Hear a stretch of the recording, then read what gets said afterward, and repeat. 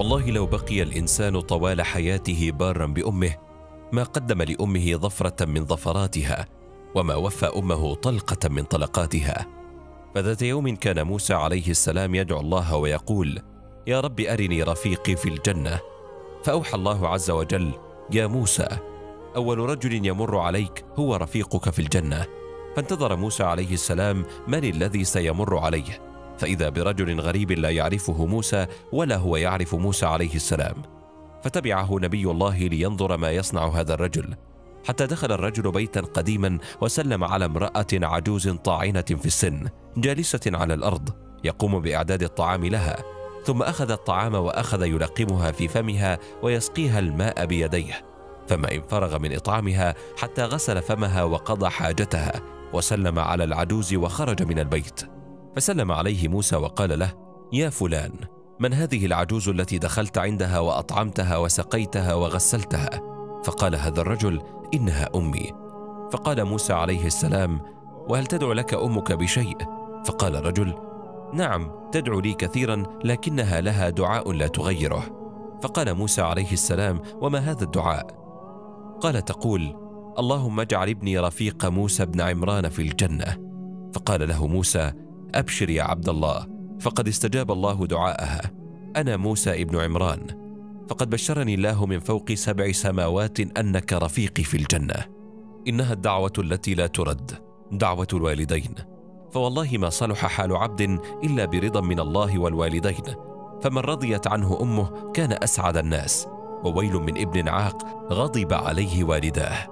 قال تعالى وقضى ربك ألا تعبدوا إلا إياه وبالوالدين إحسانا.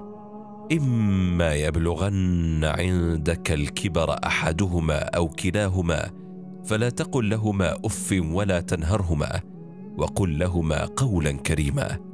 واخفض لهما جناح الذل من الرحمة وقل رب ارحمهما كما ربياني صغيرا.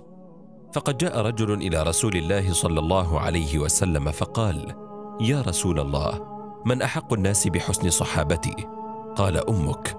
قال ثم من؟ قال أمك. قال ثم من؟ قال أمك. قال ثم من؟ قال أبوك. فقد صعد رسول الله المنبر ذات يوم وقال آمين. ثم آمين. ثم آمين.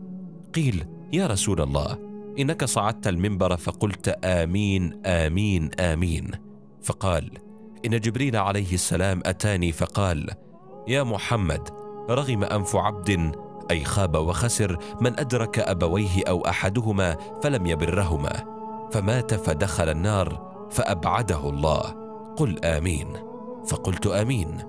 قال يا محمد رغم أنف عبد من ذكرت عنده فلم يصل عليك فمات فدخل النار فأبعده الله. قل آمين. فقلت آمين. فجبريل يدعو والنبي يؤمن فالأمر عظيم وخطير. فالعقوبة التي تعجل للعبد في الدنيا قبل الآخرة هي عقوبة عقوق الوالدين. فكان أبو هريرة يدخل كل يوم على أمه ويقول السلام عليك يا اماه رحمك الله كما ربيتني وأنا صغير وهي تقول وعليك السلام يا أبا هريرة رحمك الله كما بررتني وأنا كبيرة وكان أحد الصالحين لا يأكل مع أمه في صحن واحد فسئل عن ذلك فقال أخاف أن تنظر أمي إلى طعام فتشتهيه فتسبق يدي نظر أمي. فاللهم ارحمهما كما ربيانا صغارا واجعلهم من الأطهار الأخيار في الفردوس الأعلى يا رب العالمين. هذا والله تعالى أعلم. وصل اللهم وسلم على سيدنا محمد وعلى آله وصحبه وسلم.